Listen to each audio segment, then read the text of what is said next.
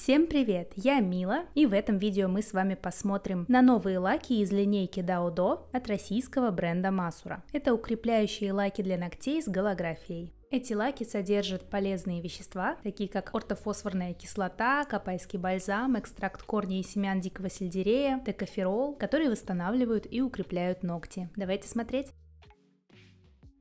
И начну я с лака, который не является вроде укрепляющим, но тоже голографик. И это лак под названием бриллиантовый десерт. Это серебряный линейный голографик, причем в нем содержится какая-то особая новая голография. И она на самом деле очень эффектная и яркая. Лак сам по себе серебристый, особенно без солнечного освещения, но в нем как будто синий спектр ярко играет, поэтому он имеет голубоватый подтон. Также я в нем вижу такой золотой лучик, который бегает по ногтю, отражая яркий свет. Голография здесь мельчайшая, искристая. На первом слое лак полупрозрачный, но в два слоя полностью перекрывает свободный край и не просвечивает. То есть в целом лак довольно плотный. Он быстро сохнет и легко наносится, и имеет гладкий, но не очень глянцевый родной финиш. На мне два слоя плюс топ.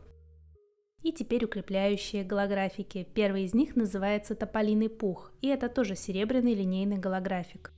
На самом деле он отличается от предыдущего лака, я это покажу чуть дальше. Это тоже светлый серебристый голографик с золотым лучиком, бегающим по ногтю при попадании яркого света. Голография здесь тоже супер яркая, линейная, радуги здесь просто нереальные и очень красиво оттеняются вот этим золотым отблеском. На первом слое лак практически прозрачный и максимальной плотности достигает после третьего слоя. У него отличный родной глянец и он быстро сохнет. Эти лаки вполне можно носить наносить без топа, что я и сделала. На мне три слоя.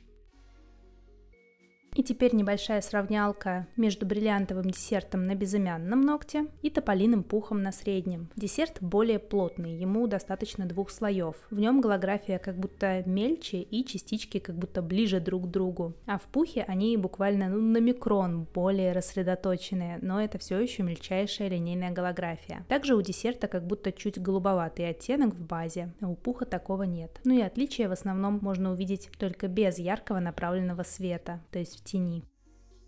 Далее лак «Золотая степь». Это темно-золотой линейный голографик. Этот и все последующие лаки будут по текстуре такими же, как и тополиный пух. Для меня такой оттенок это, конечно, нюд. Он практически идеально совпадает с оттенком моей кожи по контрастности. Но оттенок красивый и дорогой. А на солнце вообще бомба. Голография, конечно, сногсшибательная, как и во всей коллекции. Наносится лак легко, буквально пара движений кисти и слой готов. Он также не плотный, но будто менее просвечивает, чем предыдущий. После третьего слоя уже не видно свободного края, но возможно его можно уложить и в два слоя. Топ я также не наносила, родной глянец у него отличный и сохнет он тоже хорошо. На мне три слоя.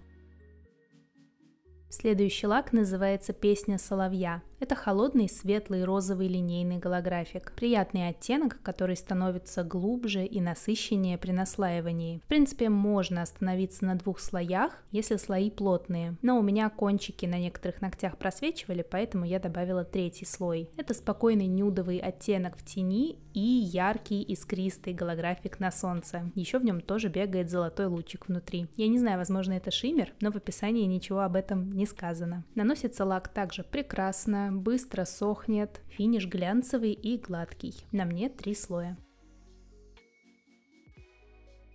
Следующий лак называется «Родные просторы». Это темный, теплый, розовый линейный голографик. Вообще оттенок у него довольно сложный. Что-то среднее между розовым и красным. Меняется в зависимости от освещения.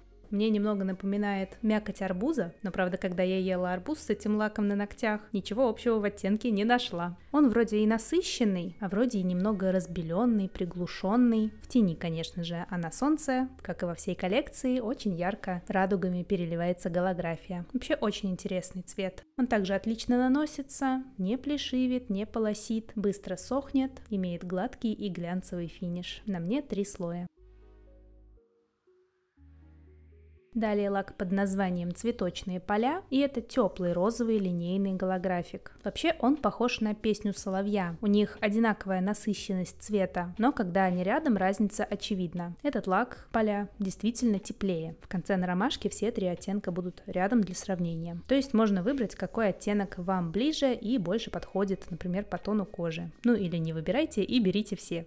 Этот оттенок как раз подходит мне меньше, чем песни соловья, но при этом он точно такой же послушный, легко наносится, не плешивит, не полосит. Плотность средняя, можно оставить в два слоя, но я нанесла три. И его тоже подсвечивает изнутри золотое свечение. Я бы сказала, это что-то среднее между предыдущими двумя оттенками. На мне три слоя.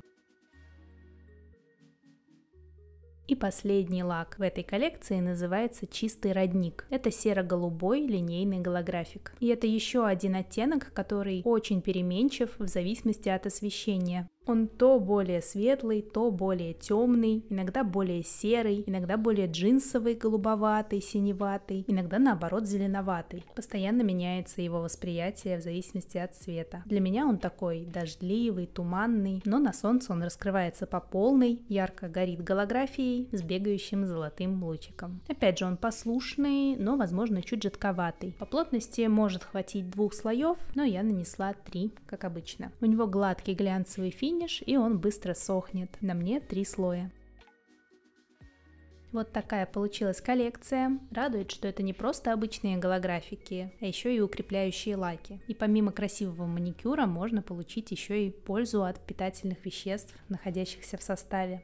Больше всех мне понравился бриллиантовый десерт и чистый родник. А какие лаки понравились вам, пишите в комментариях. А у меня на этом все. Заглядывайте в мой телеграм-канал, куда я публикую все свотчи и лака-новости. Ставьте лайк этому видео, подписывайтесь на канал. Всем большое спасибо за просмотр. Пока-пока.